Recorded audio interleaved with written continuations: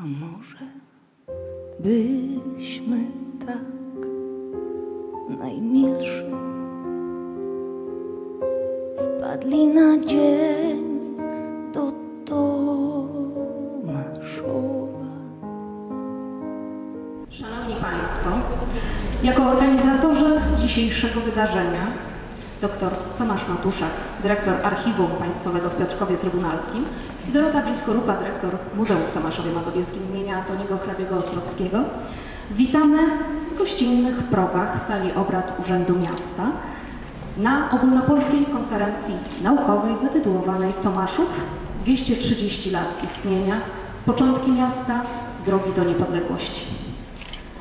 Jest nam bardzo miło, że przyjęliście Państwo nasze zaproszenie i uczestniczycie w tym niezwykle ważnym dla naszego miasta i kraju wydarzeniu. Witam gospodarza miejsca w imieniu pana prezydenta, panią Zofię Szymańską, zastępcę prezydenta miasta. I właśnie w imieniu pana dyrektora, moim i gospodarza witam serdecznie szczególnych gości. Jak widzicie Państwo slajd początkowy naszej dzisiejszej konferencji, hasło przewodnie to Tomaszów 230 lat istnienia, początki miasta, rozwój drogi do niepodległości. Dlaczego wraz z Panią Dyrektor, muzealnikami, archiwistami przyjęliśmy takie hasło przewodnie konferencji? Przyjęliśmy takie hasło konferencji, bowiem rok 2018 jest rokiem szczególnym. Szczególnym szczególnie z punktu widzenia e, Tomaszowa Mazowieckiego. To 230 lat istnienia, ale istnienia także w kontekście stulecia odzyskania niepodległości przez Polskę. Jest to wydarzenie szczególnie ważne i bliskie sercu każdemu z Polaków. Każdy z nas słowo patriotyzm rozumie na swój sposób, ale myślę, że każdy z nas, myśląc o sobie jako patriocie, myśli także w kontekście dobrej nauki i dobrej pracy na rzecz naszego wspólnego dobra, naszej wspólnej ojczyzny. Mam nadzieję, że wszystkie wystąpienia, które dzisiaj zostaną zaprezentowane, przygotowane przez znamienitą kadrę naukową najważniejszych ośrodków naukowych w Polsce, przygotowane przez historyków, muzealników, archiwistów, przybliżą Państwu różne aspekty funkcjonowania Tomaszowa w różnych okresach historycznych. W przerwie pomiędzy obradami zapraszamy Państwa również do obejrzenia wystawy Kongres Wiedeński 1815 Region i kraj w cieniu Nowego Ładu, bowiem wiek XIX w historii Tomaszowa Mazowieckiego jest również wiekiem szczególnie ważnym. Mam nadzieję, że wszystkie wystąpienia spotkają się z dużym zainteresowaniem nie tylko ze strony współreferentów, ale także i Państwa uczestników. Jednocześnie z Panią Dyrektor chcieliśmy poinformować, że w tym roku ukaże się również wydawnictwo pokonferencyjne, w ramach którego będzie można zapoznać się ze szczegółami lub przypomnieć sobie kwestie podejmowane w trakcie dzisiejszych obrad. Życząc Państwu przyjemnych doznań, nie tylko naukowych, chciałbym jednocześnie poprosić Panią Prezydent o zabranie głosu. Dziękuję pięknie Pani Dyrektor, Panie Dyrektorze, dostojni goście, Szanowni Państwo. To dla mnie ogromne wyróżnienie, że mogę powitać Państwa w Tomaszowie Mazowieckim i w gmachu Miejskiego Ratusza przy tak szczególnej okoliczności, jaką jest dzisiejsza konferencja. Konferencja poświęcona 230-lecia istnienia Tomasza Mazowieckiego. Rocznica właśnie, 230 lat, o czym mówił Pan Dyrektor z naszego miasta, zbiega się ze stuleciem odzyskania przez nas kraj niepodległości. I nie sposób mówić o historii Tomaszowa bez akcentowania losów i dziejów naszego kraju. To nie tylko zbieżność tych, tych rocznic, ale to przede wszystkim postać Antoniego Ostrowskiego, kontynuatora dzieła swojego ojca Tomasza Ostrowskiego, założyciela miasta. Antoni Ostrowski zapisał się złotymi zgłoskami w historii nie tylko Tomaszowa, ale właśnie w dziejach naszego kraju. E, generał powstańczy, wybitny polityk, pod względem światłości umysłu wyprzedzał swoje dzieje, swoje lata. I bardzo mi miło, że organizatorzy konferencji, przedstawiciele, e, prelegenci dzisiejszej konferencji również zwrócą uwagę na postać tej wybitnej dla nas Tomaszowian osoby. Szanowni Państwo, dla nas szczególnym wyróżnieniem mieszkańców Tomaszowa, władzy miasta, powiatu jest to, że wybitne umysły nauki polskiej pochyliły się nad historią naszego miasta. Dziękuję pięknie, że wybitni profesorowie, doktorzy będą mówić o Tomaszowie Mazowieckim poświęcili swój czas i uwagę właśnie losom naszego miasta. Powinnam teraz uroczyście otworzyć konferencję, zatem Szanowni Państwo, niż formalności stanie się, zadość, mam przyjemność uznać, że Ogólnopolska Konferencja Naukowa Tomaszów 230 lat istnienia, początki miasta, rozwój drogi niepodległości uznaję za otwartą. Dziękuję pięknie. Dziękujemy bardzo. Pani Prezydent, jeszcze chcieliśmy w podziękowaniu za gościnę w progach Urzędu Miasta sprezentować Pani takie skromne wydawnictwo. Dzieje Piotrkowa Trybunalskiego. Klaudia. Proszę Państwa, to jest taki łącznik wspólny, żebyśmy tutaj nie pomyśleli przypadkiem, że Piotrków Trybunalski, który w ubiegłym roku obchodził 800-lecie pierwszej pisanej wzmianki o swoim mieście, się w jakiś sposób szczególnie tutaj próbuje lansować w Tomaszowie Mazowieckim, przepraszam za takie potoczne słowo, ale akurat e, Archiwum Państwowe w Piotrkowie Trybunalskim ma jeden element bardzo mocno zespajający go z Tomaszowem Mazowieckim mianowicie oddział swojego archiwum przy ulicy Spalskiej 120, który funkcjonuje w Piotrkowie od roku 1950, czyli też już ładny kawałek historii, ładny kawałek czasu. Gromadzimy dokumenty związane z historią powiatu tomaszowskiego, samego miasta i okolicznych miejscowości, także działamy na rzecz społeczeństwa i mieszkańców, czego przykładem jest również ta konferencja. Szanowni Państwo, żeby nie przedłużać, e, chciałbym zaprosić za stół prezydialny pana profesora Witolda Jarno, który będzie moderatorem obrad plenarnych naszego, na, naszej konferencji, jak również zaprosić do stołu księdza profesora Mieczysława Różańskiego, panią profesor Jolantę Daszyńską i kolegę doktora Andrzeja Wróbla. Rok 2018 to dla Tomaszowian rok szczególny, a to ze sprawą jubileuszu. Jest to y, y, 230-lecie istnienia Tomasza Mazowieckiego, jak również e, rocznicy stulecia zyskania przez Polską niepodległości. Z tej okazji w Miejskim Ratuszu i w Tomaszowskim Muzeum odbyła się konferencja poświęcona e, historii e, Tomasza Mazowieckiego przeplatanej z historią Polski. Serdecznie dziękuję organizatorom konferencji, Tomaszowskiemu Muzeum, Archiwum Państwowemu z Piotrkowa Trybunalskiego i naszemu oddziału w Tomaszu Mazowieckim, bo udało nam się zgromadzić e, wybitnych prelegentów, profesorów, doktorów z uniwersytetów z całej Polski, jak również bardzo liczną publikę naszej tomaszowskiej młodzieży, przedstawicielom stowarzyszeń. Tak więc zaczynamy obchody stulecia zyskania niepodległości w naszym Mazowieckim obchody 230-lecia istnienia naszego miasta. Szanowni Państwo, oddaję panu profesorowi mikrofon. Życzę przyjemnych wrażeń. Dziękuję bardzo.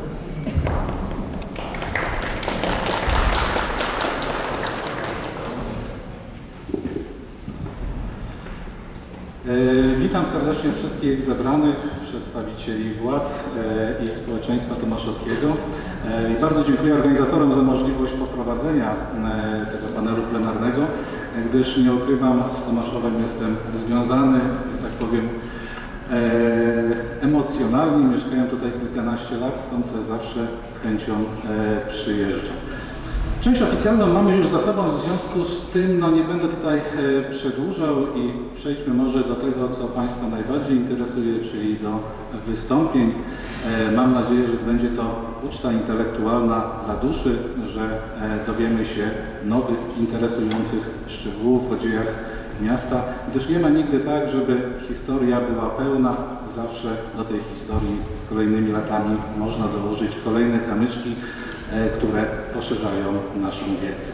W związku z czym e, głos oddaję naszemu pierwszemu prelegentowi, e, profesorowi Jarosławowi Kicie z Uniwersytetu Łódzkiego, który zaprezentuje e, referat pod tytułem Rola Arabitów Ostrowskich w rozwoju Tomaszowa Mazowieckiego w XIX i XX wieku, a więc sięgamy do genezy miasta i jego chwalebnych chwil w XIX przede wszystkim wieku.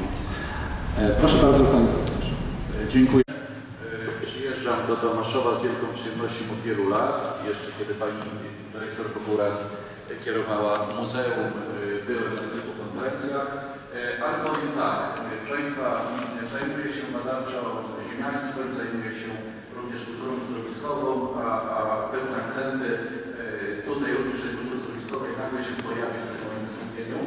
E, Natomiast zgłaszając ten referat, proszę mi wybaczyć, że powiem, miałem pewne obiekcje, bo jak to zwykle bywa, ostatnio wielu miejscach są spory między właścicielami, a władzami różnych miast i miejscowości odnośnie różnych rzeczy. W efekcie czego y, y, proszę wybaczyć, y, że będę chwalił i pokazywał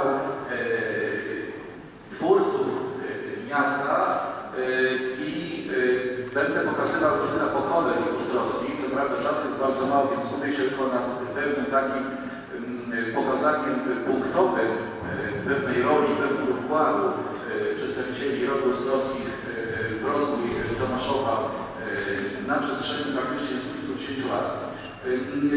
I zacznę, proszę Państwa, w sposób następujący, iż y, blisko 30 lat temu, w 1991 roku, Muzeum w Tomaszowie zorganizowało wystawę z inicjatywy ówczesnego, faktycznie można powiedzieć pierwszego badacza dziejów ostrowskich, Ryszarda Kotewicza, y, wystawę zatytułowaną Ród Ostrowski w dziejach Tomaszowa i Rzeczpospolitej. I Państwa, i tutaj od razu widać było pierwszy wkład Ostrowskich e, dla miasta. Większość najcenniejszych artefaktów, większość cennych dokumentów, które w tej wystawie zostały zamieszczone, e, pochodziło ze zbiorów prywatnych e, przedstawicieli szóstego i siódmego pokolenia e, Ostrowskich, e, Juliana i e, Jana, profesora Jana Ostrowskiego, dyrektora e, muze, e, Muzeum na Wawelu. Ale faktycznie jednak Tomaszów Mazowiecki zawdzięcza swój rozwój e, pięciu pierwszym pokoleniom mm, e, przedstawicieli rodu ostrowskich związanych z Tomaszowem. E, I e, pozwolą Państwo, że e, odwołam się ponownie do słów nieodżałowanego Ryszarda Kotewicza, czym dla renesansowego Zamościa byli są zamojscy, tym dla fabrycznego Tomaszowa ostrowscy. I postaram się Państwa tę tezę Państwu udowodnić, że nie jest to przesada. Pierwszy z przedstawicieli rodu Ostrowskich, wspomniany już Tomasz Adam Ostrowski, był postacią chyba najbardziej utytułowaną, najbardziej znaną e, z całego, z całego rodu.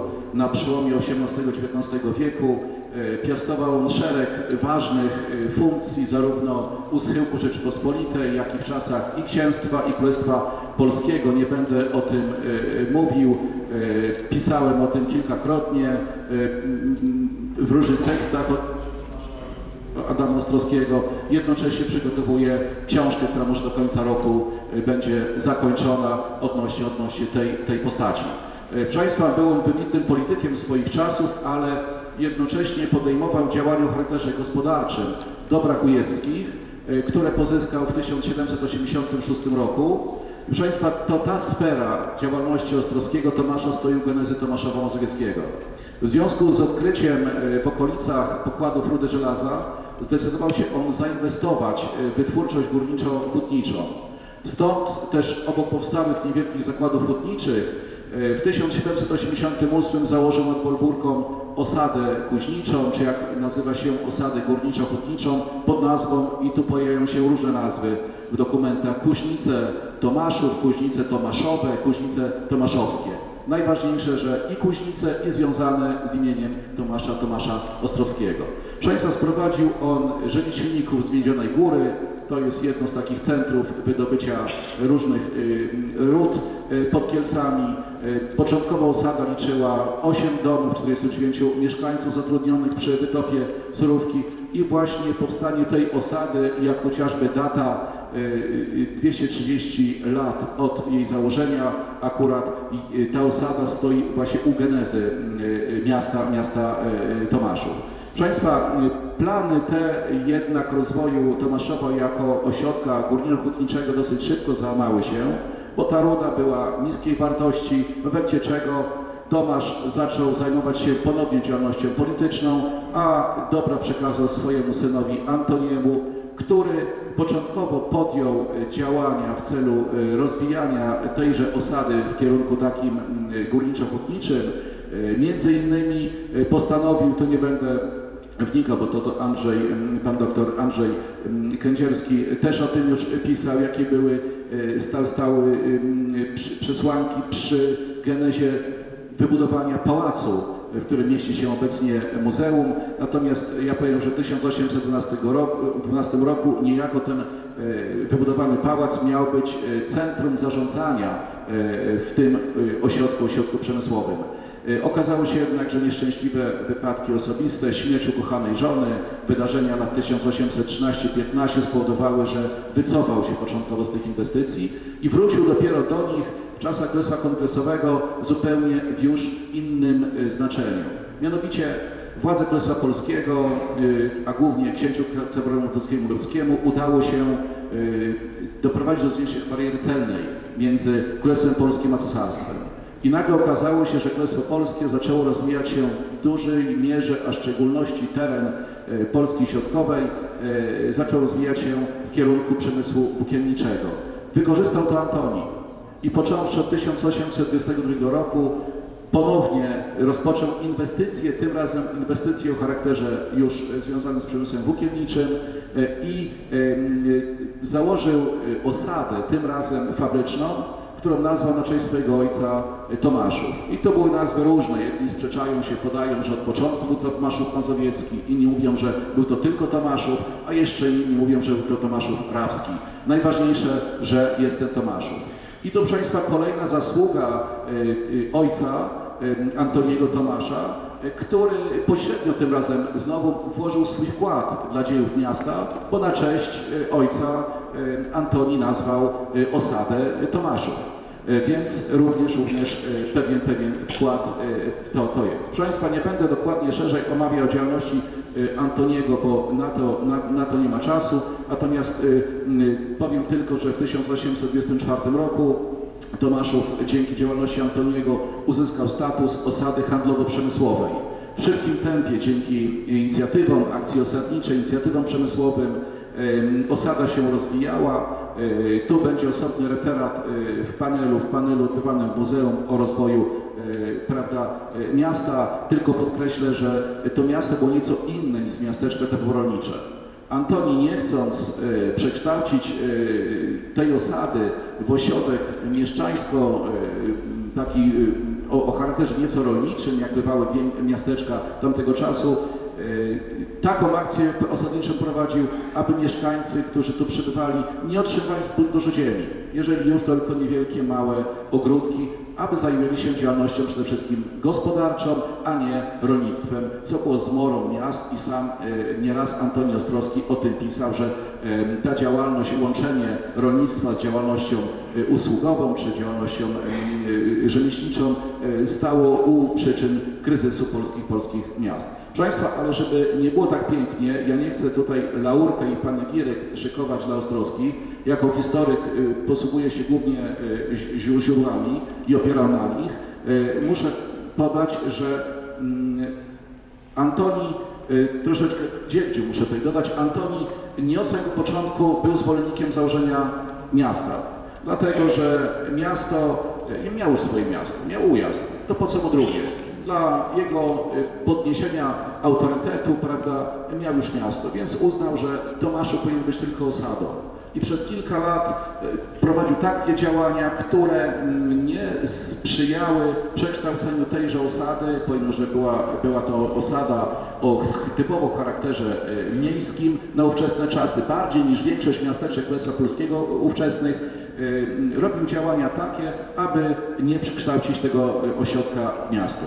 Dopiero zmiany mm, prawne, które nastąpiły w 1828 roku, tu nie będę wnikał w szczegóły, o tym już też swego czasu pisałem z jednym wydawnictw wydanych przez muzeum, y, co skłoniło w 1928 roku jednak podjął działania, y, które y, zakończyły się powodzeniem i tylko mogę powiedzieć, iż Antoni jak nie chciał, y, aby Tomaszów był miastem, to miał dużą siłę przebicia ale jednocześnie, kiedy zaczął przekształcać osadę y, y, Tomaszów w miasto, napotkał opór ze strony y, przede wszystkim prezesa Komisji Województwa Mazowieckiego Rajmunda Reglińskiego, z którym się panowie niekoniecznie lubili. W efekcie czego plany, które, wielkie plany przekształcenia Tomaszowa od razu w miasto wyższego rzędu z prezydentem, nie burmistrzem na czele, legły w gruzach i ostatecznie, kiedy doprowadził do nadania e, os- 6 lipca 1830 roku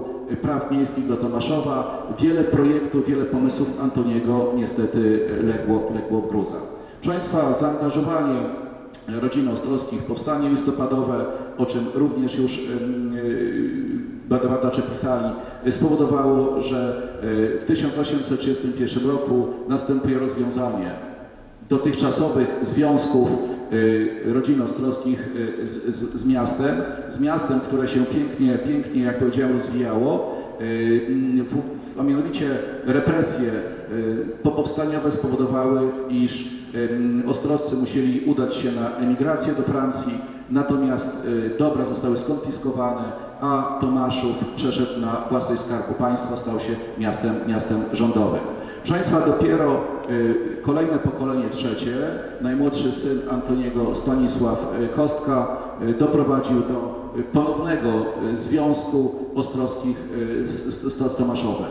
Y, I tu chociażby on między innymi wykupił część dóbr, wykupił szereg parceli należących do Ostrowskich w, w Tomaszowie y, za ze- zezwoleniem cara w 1866 roku, a dokładnie na podstawie aktu kupna y, trzy lata później wydanego, bo Ostrowcy odzyskali i pałac, i odzyskali szereg, szereg parcel, parcel w mieście.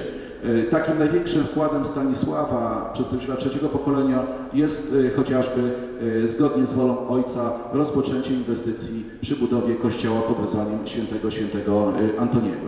Proszę Państwa, ogromny wkład, wydaje mi się, w rozwój Tomaszowa i związki Ostrowskich z Tomaszowem włożył kolejny przedstawiciel, już czwarte pokolenie Ostrowskich związanych z Tomaszowem, Juliusz Ostrowski, syn Stanisława, który po śmierci ojca odziedziczył e, cały majątek. E, Między innymi w 1898 roku przeprowadził pierwszą poważną renowację e, pałacu. Jednocześnie, proszę Państwa, znakomity, znakomity badacz, heraldyk, tutaj zgromadził ogromną bibliotekę, jak specjaliści piszą, chyba jedną z najlepiej uposażonych w różnego rodzaju dokumenty i księgi heraldyczne, e, które znajdowały się w bibliotece, w bibliotece e, pałacowej. Państwa, e, między innymi doprowadził do ufundowania przytułku dla sierot katolickich, doprowadził do rozbudowy kościoła parafialnego świętego Antoniego, przyczynił się wraz z paroma innymi przedstawicielami inteligencji miejscowej do założenia szkoły handlowej w tym mieście, więc chociażby kilka takich ważnych elementów związanych z rozwojem infrastruktury, ale chciałem jeszcze powiedzieć o jednej e, rzeczy istotnej, a mianowicie e, w okresie rewolucji 1905-1907 roku e, Juliusz był e, zwolennikiem założenia e, koła Polskiej Macierzy Szkolnej w Tomaszowie i zainwestował w rozwój oświaty tomaszowskiej ponad 2000 rubli. Na owe czasy była to bardzo, bardzo duża e, kwota. Ym, Również e, powiedziałem ten wątek, wątek tak zwany uzdrowiskowy. E, Do Ostrowskich należały niebieskie źródła i uznał, że te niebieskie źródła mogą stać się miejscem albo wilgatury, ewentualnie ba nawet uzdrowiska. Rozpoczął badania e, wód, e, przekazał, z- prze, również za granicą je prowadził. Okazało się, że niestety niebieskie źródła nie mogą konkurować z Inowłodzem czy z Nowym Miastem. Okazało się, te wody nie miały wartości leczniczych i e, nic z tego pomysłu jego nie, nie, nie wyszło. Proszę Państwa, czas, czas mnie goni. Również kolejne pokolenia wkładały, wkładały tutaj swój duży wysiłek.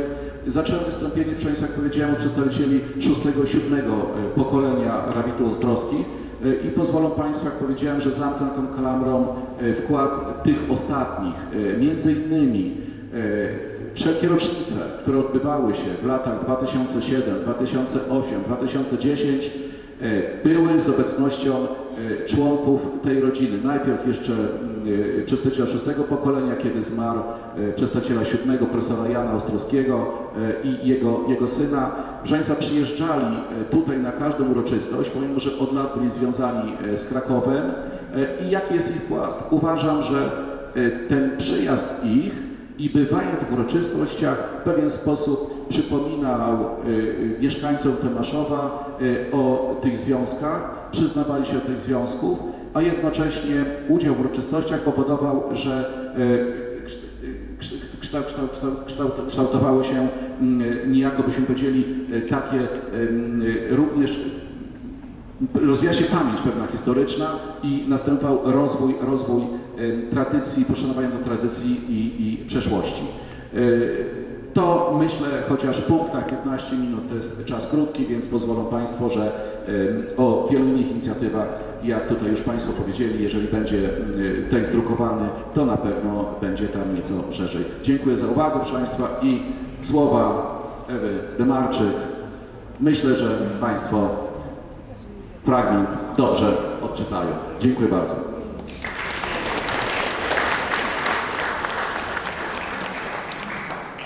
Dziękuję panu profesorowi za niezwykle interesującą syntezę dziejów miasta. Jest to prawdziwa sztuka, cały XIX wiek w 15 minutach zawrzeć.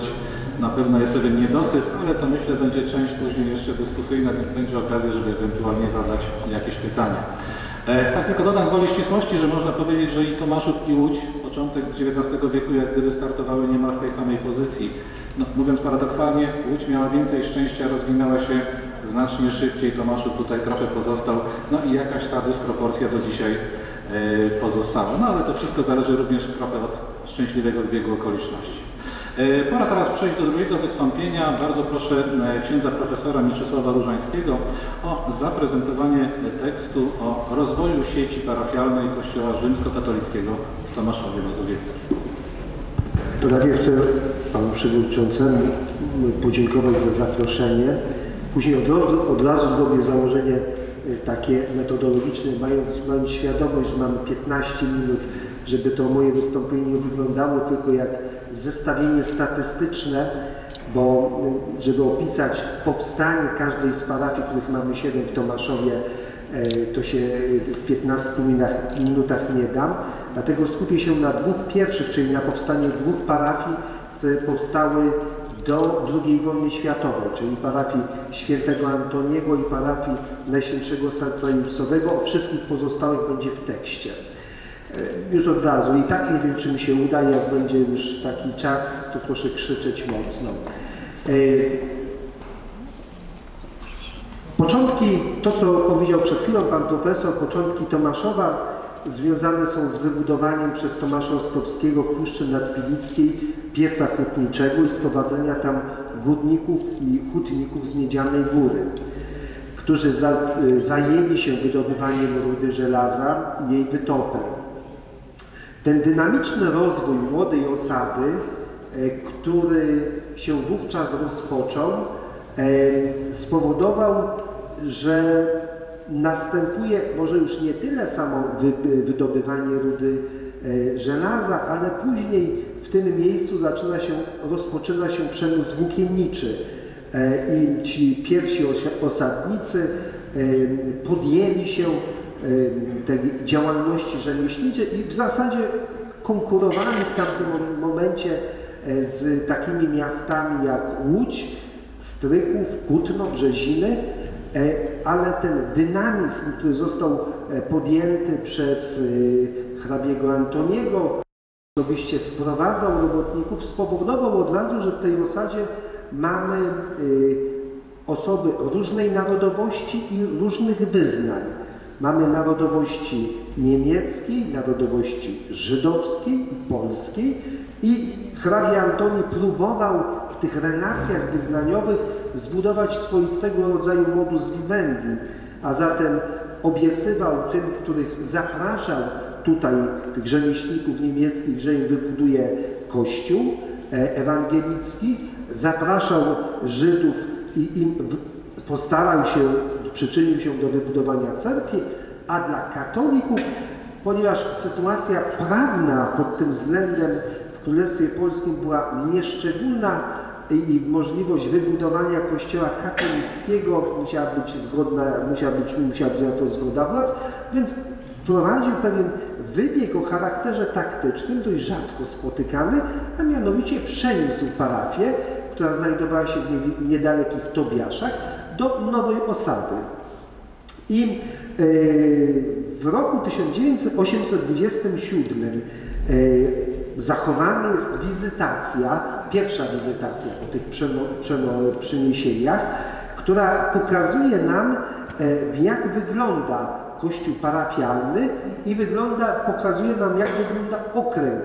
Tak naprawdę ten okręg terytorialny parafii w Tobiaszach zupełnie się nie zmienił. Parafia Tobiasze jest parafią starą, będącą od wieku XVI i procedura cała polegała tylko i wyłącznie na przeniesieniu kościoła, na co wydał zgodę arcybiskup warszawski Wojciech Leszyc-Skarszewski w dniu 23 listopada 1825 roku, czyli drewniany kościół z Tobiaszów został rozebrany i przeniesiony do mie na miejsce, w którym w Nowej Osadzie znajdował się cmentarz, czyli przy tym cmentarzu postawiono kościół i tam zaczęła funkcjonować parafia. Ta y, pierwsza parafia y, y, funkcjonowała, bym powiedział, może jak pierwszym jej proboszczem został ksiądz Wojciech Klonowski, który wcześniej był pijarem i został proboszczem w wieku lat 26.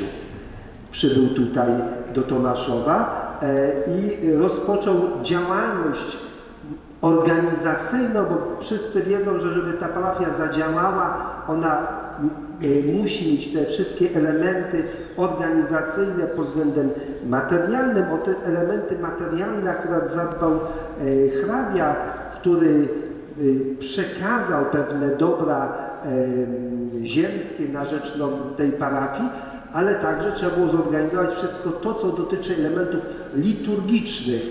Zatem w tejże, w tejże wizytacji mamy opis, jak wyglądały nabożeństwa. Ja, ja ciekaw, żeby wszyscy mieli jakąś taką świadomość, bo to troszeczkę inaczej niż obecnie, przeczytam fragment tej wizytacji, który pokazuje, jak te nabożeństwa wyglądały. A mianowicie w letnim półroczu nabożeństwa zaczynały się o godzinie 7, a po południu o godzinie 4, w zimowym czasie o godzinie 8, po południu o godzinie 3. W święta normalne, zwyczajne była, była jucznia, później śpiewane były godzinki do Najświętszej Marii Panny, następnie różaniec, pacierz parafialny z aktami wiary, nadziei, miłości, aspercja, procesja, odśpiewanie w chórze pieśni porannej i suma, wśród których Ewangelia i kazanie po mszy świętej i po nim anioł pański. A po południu w niedzielę, jeśli był, to był różaniec, e, odśpiewany w chórze pieśni wieczornej i nieszpory. Pamiętamy, że w tamtym okresie czasu msze święte były sprawowane tylko w godzinach dopołudniowych, po południu nie można było sprawować Eucharystii. E, oczywiście e, wizytacja pokazuje nam jeszcze jedną rzecz, która jest od samego zarania początku istnienia parafii w Tomaszowie Mazowieckim. A mianowicie tenże kościół drewniany pod wezwaniem świętego Stanisława miał być kaplicą cmentarną, a kościół miał zostać wybudowany w innym miejscu. To miejsce rozpoczęcia budowy i przeznaczenia na to funduszy e, znajduje się przy obecnym mniej więcej gimnazjum numer 3, e, czyli rondo obrońców lwowskich, tak? Piłsudczyków, tak, okay. Czyli mamy, czyli w tamtym miejscu i tam kościół został, rozpoczęta została jego budowa. I do roku 1830 e, wybudowano mury na mniej więcej około 2 metry. W momencie wybuchu powstania listopadowego tenże kościół, e, jego prace przy budowie zostały wstrzymane i stał do lat 60. E, jako pewien relikt tego, do czego zobowiązywał się hrabia Antoni, ale on w wyniku represji uciekł, zamieszkał we Francji, więc tutaj możliwości wybudowania nie było, ale był na tyle, miał taki praktyczny zmysł, że na własnych dobrach zapisał sumę na wybudowanie tego kościoła. Co prawda ksiądz Klonowski, później następca jego, ksiądz Dąbrowski, próbowali uzyskać od rządu zarekwirowanych, czyli tych zabranych ziem hrabiego te pieniądze, ale oczywiście e, władza gubernialna na tego rodzaju sposób dokończenia budowy nie wyrażała zgody. Dopiero zgoda na wybudowanie w latach 60. XIX wieku i wtedy już staje Kościół zupełnie w innym miejscu, zupełnie innego projektu, ale tu już do, do samej organizacji e, kościelnej e, nie należy, więc tu budową kościoła się nie będziemy e, zajmować. Rozwój miasta XIX wieku jest dość dynamiczny. Przez ten cały okres czasu jest tylko jedna parafia w Tomaszowie Mazowieckim. Zmiany następują dopiero w latach e, pod koniec lat 20., bo powstaje parafia w roku 1929. Ale nim te zmiany nastąpią, trzeba wspomnieć o rzeczy następującej, że y, powstała nowa diecezja, czyli w roku 1920 powstaje diecezja łódzka i Tomaszów Mazowiecki znajduje się na rubieżach nowej diecezji, bo tuż za Pilicą mieliśmy, jest już diecezja sandomierska w tamtym okresie czasu. Czyli do granicy, do granicy mamy, czyli miasto takie graniczne. I w ramach tej nowej diecezji powstał pomysł od razu po jej powstaniu, aby miasto e, w pewien sposób podnieść jego rangę pod względem kościelnym, czyli utworzyć, w tym mieście utworzyć e, stolicę dekanatu. I rozpoczęto starania na, na ten temat w roku 1921, a więc tuż po powstaniu. Ówczesny dziekan, do którego należał Tomaszów Mazowiecki, czyli dziekan Brzeziński, e, ksiądz Kalicki, e, wypowiadał się, że e, pomysł utworzenia tej nowego dekanatu w Tomaszowie Mazowieckim wtedy, nazywany diecezją rabską, jest bardzo dobry, ponieważ jest znaczna odległość do miasta dziekańskiego, jakim są Brzeziny. Z tym dlatego też na, to jest całe uzasadnienie, dwie strony ma uzasadnienie, dlaczego ma być, aha, już okej, okay.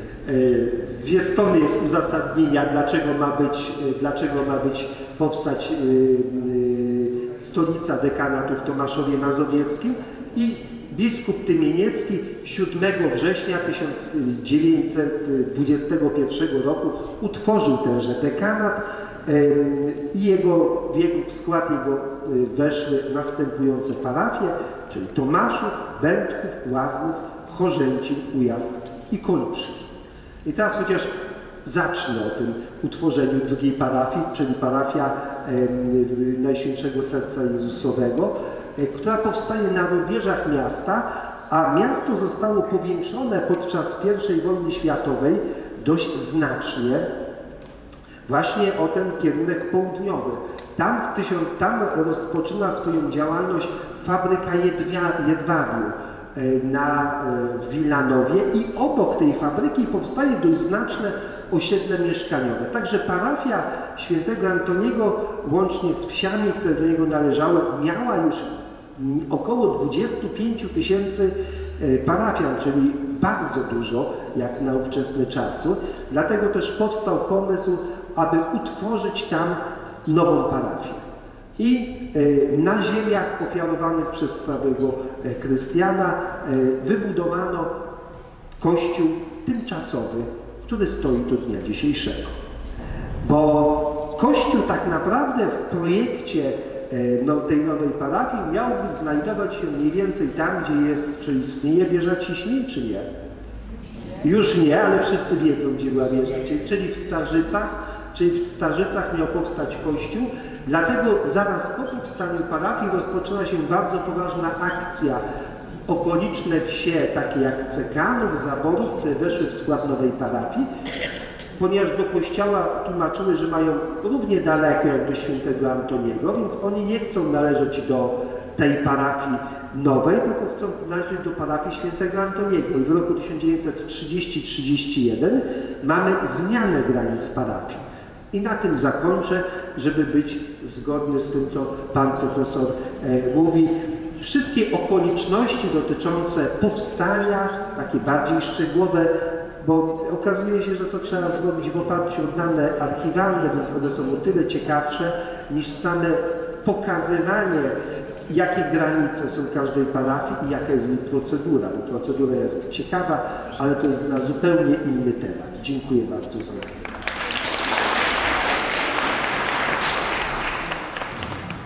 E, Dziękuję bardzo panu księdzu profesorowi. E, Ja przyznam, że z zainteresowaniem wysłuchałem zagadnienia, a to z takiej prostej przyczyny, że w zeszłym roku akurat e, byłem promotorem doktoratu na temat budownictwa sakralnego w diecezji łódzkiej w latach 1945-89, więc czasy PRL-u E, i tutaj w Tomaszowie faktycznie wiele się działo e, interesujących rzeczy na ten temat, natomiast przyznam szczerze, że ten początek XIX wieku był dla mnie trochę mniej znany, więc tym bardziej tutaj podziękowania za te interesujące początki parafii tomaszowskiej. E, Teraz poproszę kolejnego prelegenta, tym razem będzie to e, pani profesor Jolanta Daszyńska. Mamy pewną zmianę, gdyż jeden z prelegentów jeszcze nie zdążył dotrzeć, więc musimy troszkę tutaj zmodyfikować. E, Pani profesor Jolanta Daszyńska z Uniwersytetu Łódzkiego, która zaprezentuje temat pod jakże frapującym tytułem. Przyznam szczerze, jak go zobaczyłem, to naprawdę spodobał mi się. Nie szablon, nie szablą, a fortepianem. Cokolwiek by to znaczyło, ale mamy na szczęście dopisek walka Ignacego Paderewskiego o niepodległą Polskę. Dziękuję bardzo Panie Przewodniczący, Szanowny Przedstawiciele Szanownych Władz, Szanowni Państwo. E, Proszę Państwa, e, wykład jest nieco odbiegający pozornie od głównego nurtu dzisiejszej konferencji. W związku z tym, gdzie jest jakiś link łączący to wszystko? Proszę Państwa, jest to jest to wolność, jest to niepodległość. I pokażę, y, jak trudno było o tą niepodległość i wolną ojczyznę walczyć y, osobie znanej, bardzo popularnej, aczkolwiek będącej w Stanach Zjednoczonych i rozmawiającej z najważniejszą głową państwa, czyli z prezydentem Wilsonem.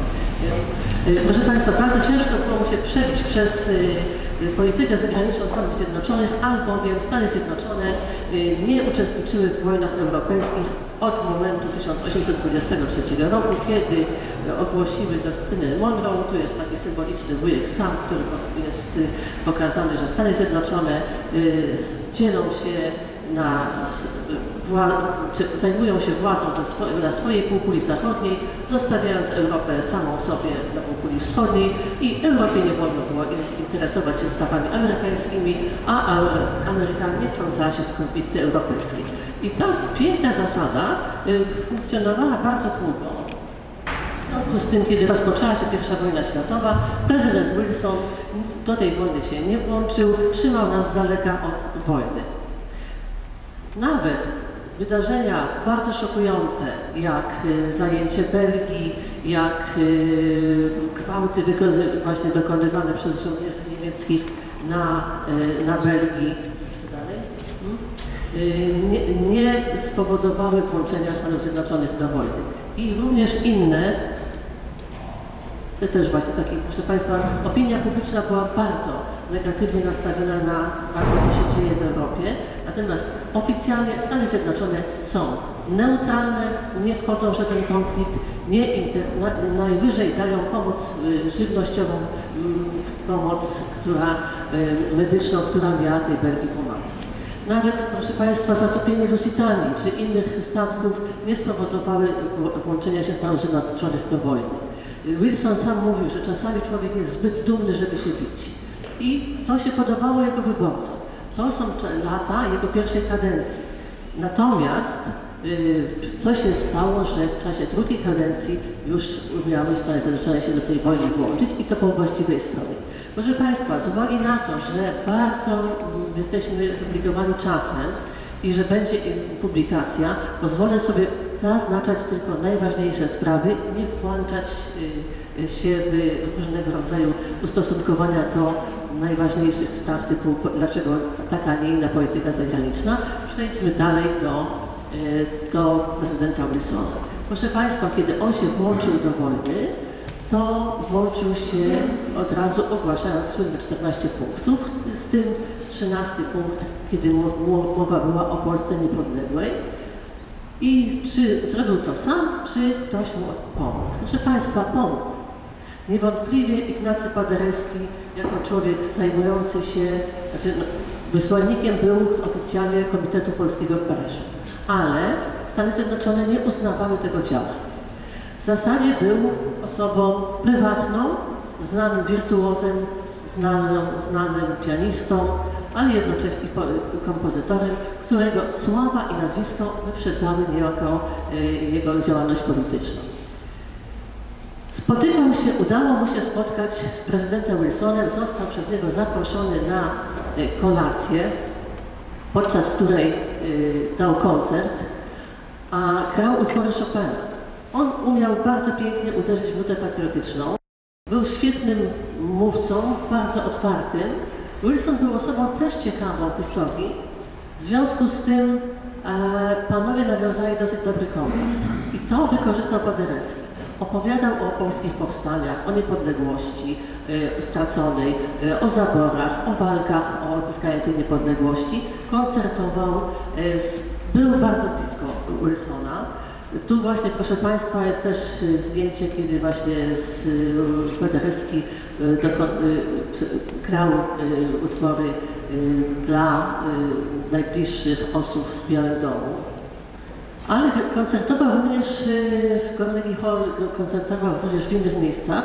Natomiast na co położył nacisk? Położył nacisk na to, żeby Amerykanom powiedzieć o Polsce bo oni naprawdę pojęcia za bardzo dużego nie mieli, zwłaszcza, że przypomnę taką małą, nieprzyjemną rzecz, że Wilson kiedyś napisał książkę o, y, której, o, o ludach Europy i mówił o Słowianach, w tym o Polakach, bardzo pejoratywnie, raczej uważając, że to są ludzie nie za bardzo inteligentni, trochę, trochę przyrównywał nas do, przepraszam bardzo, do Rumunów czy Cyganów, no w każdym razie nie, nie uznawał nas za ludzi y, którzy powinni się liczyć i, i, mieć coś do powiedzenia, a więc taka niepodległa Polska, której nie ma, no to w ogóle go nie interesowało.